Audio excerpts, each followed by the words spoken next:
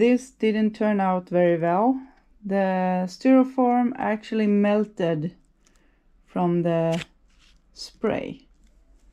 So we have to make a new one.